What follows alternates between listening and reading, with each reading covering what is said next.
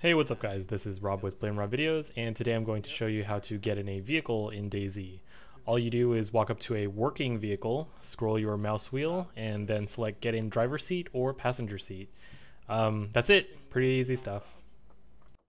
Uh, the gun, gun, or,